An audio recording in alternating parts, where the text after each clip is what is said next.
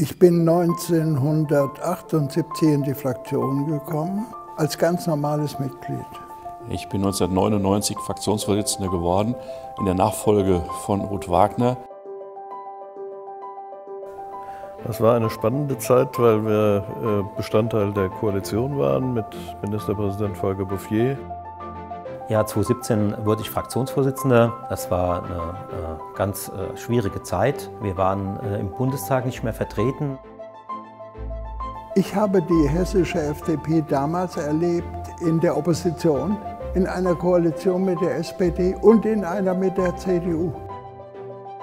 Und dann der damalige grüne äh, Fraktionsvorsitzende war ja, glaube ich, schon Tarek Al-Wazir, sagte, ach, Frau Wagner, kriegen Sie jetzt auch schon Schwarzgeld im Koffer? Äh, sehr von sich überzeugte, zu Recht von sich überzeugte Persönlichkeiten, die alle ihren eigenen Kopf hatten, die zusammenzuhalten, war eine spannende Aufgabe.